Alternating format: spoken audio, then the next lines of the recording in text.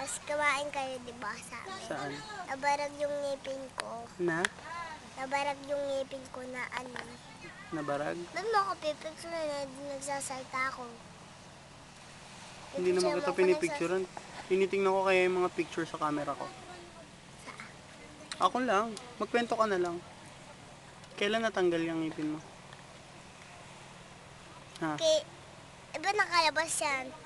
Eh gusto niya nakalabas eh. Nino? Ganyan. Ako? Ayan. Ito.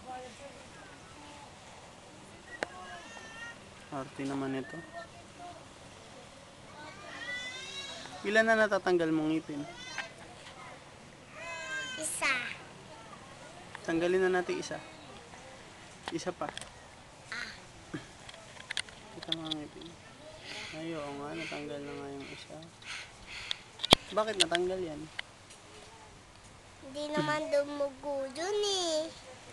Umiyak ka? Natanggal lang isang dito. Umiyak ka?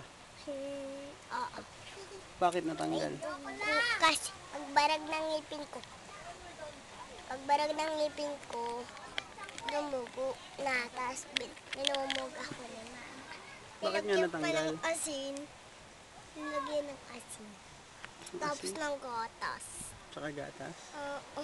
Masarap? Masarap? Kailan natanggal yun?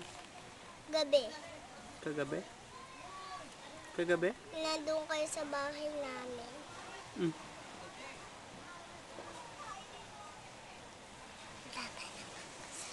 Ano? Ako sa'yo.